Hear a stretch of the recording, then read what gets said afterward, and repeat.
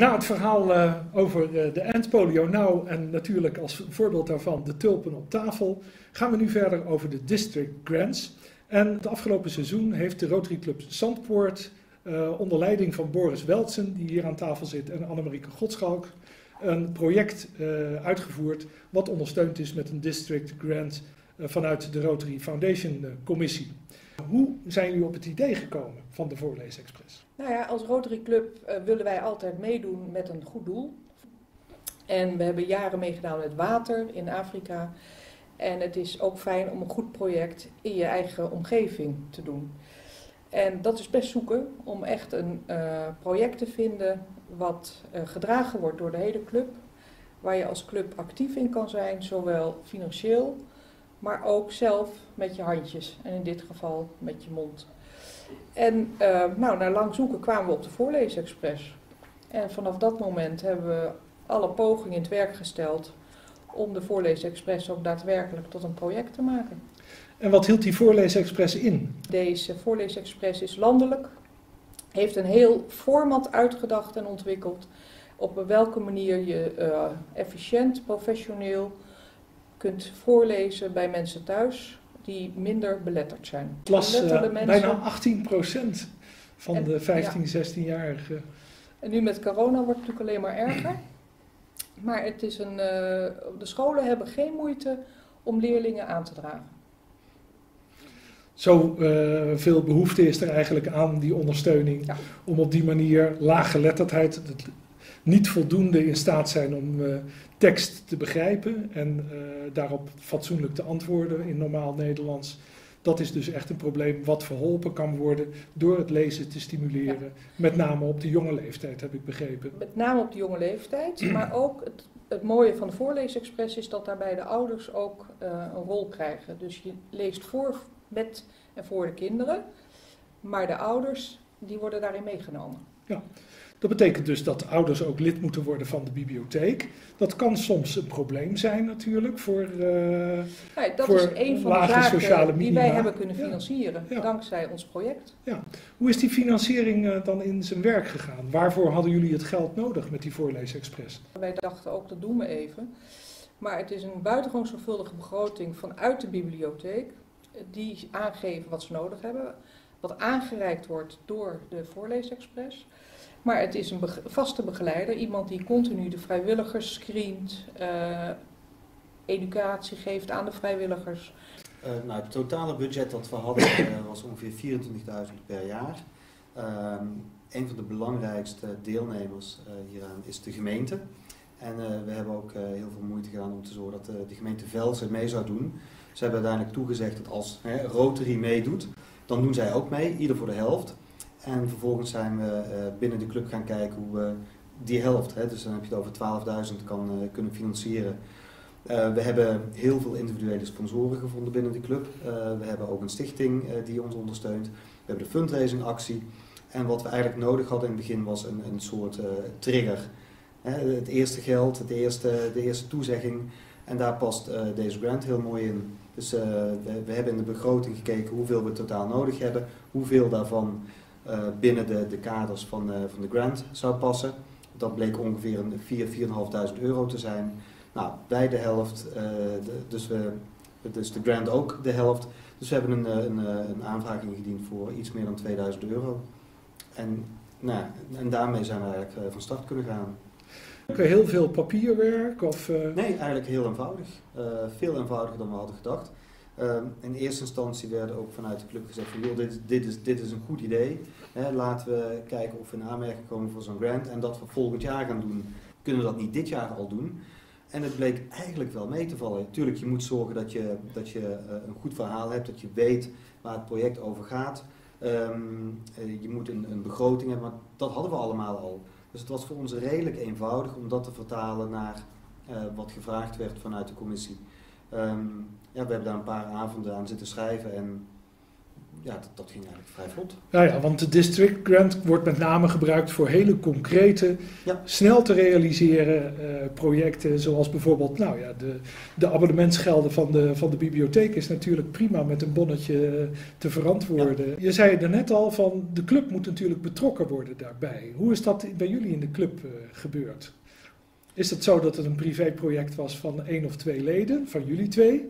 En dat de rest van de club toegehoord heeft? Of zijn er daadwerkelijk betrokken leden geweest die ook zijn gaan voorlezen? Dat is een, een heel proces geweest. We hebben daar meerdere keren over uh, gesproken. In groot bestuur, klein bestuur, maar ook uh, met, met, uh, met alle leden van de club. Over hoe we dat dan vorm moeten gaan geven. wat voor een bijdrage wij kunnen leveren. Wat voor een commitment we aan kunnen gaan. Want het gaat wel uiteindelijk om veel geld. En het was ook al vrij snel duidelijk dat, dat je dit niet voor één jaar doet. Het idee was ook dat we hier als Rotary voor een periode van drie jaar in willen stappen. En dat we daarna verwachten dat het dan uh, zelfstandig of, of in ieder geval met hulp van de gemeente verder kan gaan. Dus daar zijn we heel veel discussies over geweest van wat is nou realistisch, wat kunnen we wel, wat kunnen we niet. Dus we hebben daar echt met heel veel mensen heel vaak over gediscussieerd. Uh, en toen op een gegeven moment bleek dat het wel heel concreet is, heel praktisch, lokaal en niet alleen geld, maar ook actief. En we de grant kregen, ja, toen, toen was het eigenlijk redelijk snel om en toen zijn we van start gegaan.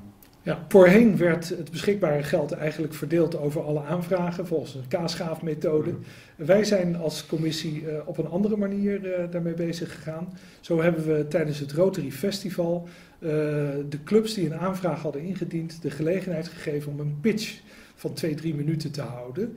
Om zo stemmen te winnen en dan het geld te verdelen middels een stemmingsprocedure. Ook aan het eind, dus na een jaar als het afgerond is, wilden we dat weer terugkoppelen naar de leden door het resultaat te laten presenteren. Hoe is jullie ervaring daarmee geweest? Um, ja, ik, ik, heb ik heb die pitch gehouden. ik, ik, kan vertellen, ik, ik vond het wel heel spannend. Uh, zag er ook een beetje tegenop in het begin, omdat je, uh, ik, ik was nog niet zo heel lang lid. Uh, ik wist ook niet precies wat, wat me te wachten stond. dus ik heb een, een, aantal avonden gewoon die pitch geoefend. Ook samen met Peter Boeing nog een paar keer doorgenomen, onze penningmeester.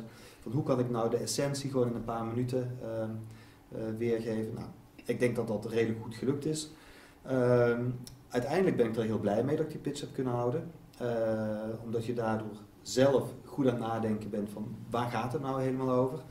En het biedt ook een platform om aan andere Rotarians uit te leggen wat je doet. En nou goed, de bedoeling was ook om, eh, actieve uh, vrijwilligers te gaan werven. Helaas is dat allemaal vanwege corona iets minder goed gelukt. Maar onder normale omstandigheden is het natuurlijk ook fantastisch om, om mensen hierbij te betrekken vanuit andere clubs en ze enthousiast te maken. Ja.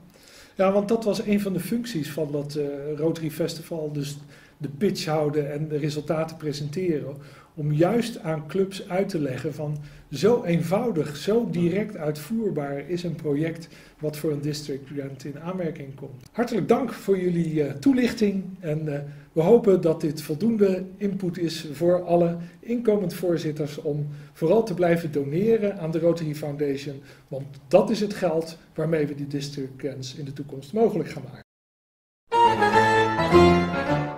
Bij de district grants gaat het om kleinschalige projecten die binnen een jaar afgerond zijn. Concrete dingen die gewoon betaald kunnen worden en waar het bonnetje aangetoond kan worden dat het inderdaad op die manier betaald is. Iedere club die bijdraagt aan de Rotary Foundation, die dus de afgelopen jaren gedoneerd hebben aan de Rotary Foundation, kunnen in aanmerking komen voor zo'n project. Wij hebben bijvoorbeeld een project gedaan met uh, duo-fiets voor mensen met dementie. Dan kan zo iemand die zelf de weg kwijtraakt met iemand anders gaan fietsen. En we hadden toen bedacht van, wat leuk zo'n fiets, maar het zou nog makkelijker zijn als we daar een hulpmotor bij hebben, waardoor de actieradius wat groter wordt. Wij schaffen de fiets aan en we vragen een cliënt aan om de motorondersteuning te regelen. Dat is natuurlijk heel concreet uitvoerbaar en binnen een jaar afgerond. Alle informatie over dat aanvragen van zo'n district grant kan u heel makkelijk vinden op de, op de website van de Rotary onder het eh, TRF-tapje. Uh, het is natuurlijk belangrijk dat de club zelf bijdraagt, omdat de maximale bijdrage in de vorm van een district grant nooit hoger kan zijn dan de eigen bijdrage van de club in dat project. Want, uh, maar soms zie je dat ook clubs samenwerken. En dan is het belangrijk om te weten dat het maximale bedrag wat aan één project besteed wordt 4000 euro is. En dat is natuurlijk omdat er een maximum is uh, aan het te verdelen geld. Grofweg is dat zo'n 20.000 euro per jaar. Het bedrag wat wij als District uh, Rotary Foundation Commissie mogen verdelen over de clubs hangt samen met het bedrag wat gedoneerd wordt door de clubs een aantal jaren daarvoor. Bij Global Grants uh, is het zo dat het dan om de aandachtsgebieden gaat van uh, de Rotary. Hè, wat vroeger zes waren en wat inmiddels zeven zijn. Bij de District Grants gaat het om concrete, direct uitvoerbare projecten. Dat mag ook in het buitenland zijn. Projecten die dus binnen een jaar afgerond zijn.